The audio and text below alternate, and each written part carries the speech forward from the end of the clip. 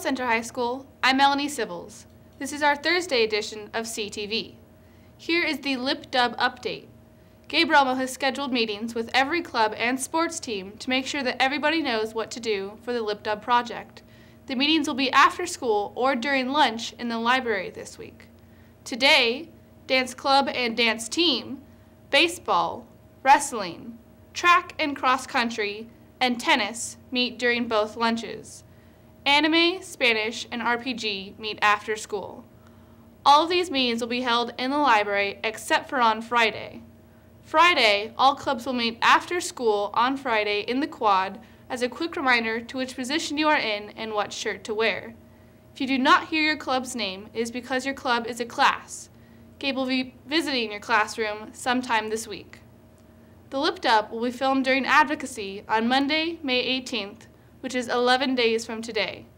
We will keep you updated on everything to make sure everyone is ready. Purchase your Epic Yearbook for $75 at the ASB office or online at yearbookordercenter.com and use the code 7444. They have not run out of books yet. In fact, they just acquired 20 more books to sell. Seniors, the Rotary Club of Foothill Highlands is offering 20 $500 scholarships. There is no minimum GPA requirement. More information is available at the College and Career Center. Dance team auditions will be held on Monday, May 11th from 3:15 to 6 p.m. in the dance room. You must have a sports physical completed to audition. You may pick up a dance packet in the CHS Student Center. The cheerleading clinic is May 18th to 19th from 3 to 4:30 and tryouts are May 20th from 3 to 4:30. You must have a completed sports packet with a completed physical before you can attend the clinics. Congratulations to Connor Wells, who took second place in the 800 meter at the Arc Meet of Champions. Connor broke the school's 17 year record set in 1997. Rally MC tryouts will be held Wednesday in the gym during the beginning of both lunches. Now it's time for today's feature. Reporter Gabe Romo has an interview with Brendan Green from Antelope High School to talk about the Antelope Community Fun Run. Well, I'm Brendan. I'm from Antelope High School. Um, we wanted to do a run over at Antelope in benefit of Shriners Children's Hospital. They provide all care regardless of family's ability to pay. So we thought, hey, why don't we put something together? We have the park right there.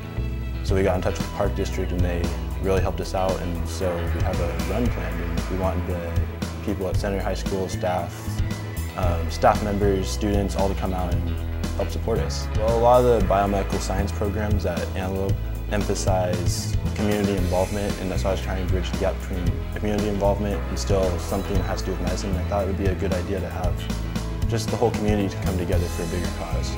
So we had to go to the school district first and say, hey, can we do this on the property? They said, yes, the principal was all for it, all the staff members at Antelope for it, they were saying, yes, this is a great idea.